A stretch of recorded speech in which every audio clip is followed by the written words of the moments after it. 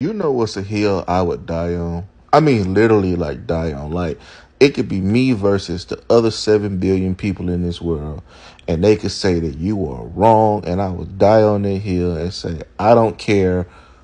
All of y'all are wrong, and that's that. As a true believer in Christ Jesus, who is filled with His Holy Spirit, you have no right to say you ever got played or you did not know. You knew. You knew. God told you. You didn't listen. You didn't listen. Nah, cause I'm gonna sit up for this one, man. Because there be folk on here, Christian folk, these who I'm talking to, talking about some, oh, I didn't know, da da da da da. Like it was this one woman, you know, I saw this video a long time ago, and she said that her and her husband were Christians, and she's been a believer this whole time, and she found out 10, like 10 years later that her husband was on the DL. Baby, you knew that year one. Ain't no way you telling me 10 years later you found out that your husband had a thing for the guys. No way. And just like the other guys that get betrayed by a friend or get robbed by a friend or come to find out this friend, you, you knew that.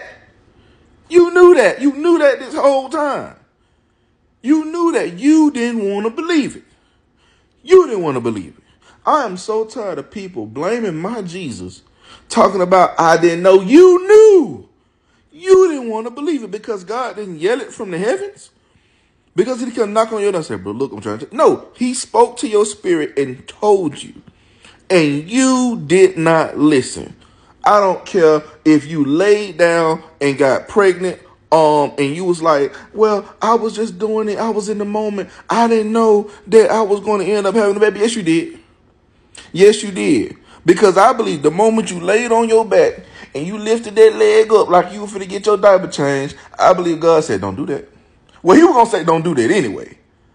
But he was like, don't do that. This this time is gonna be a baby. This time is gonna be an STD. But y'all, y'all didn't hear that.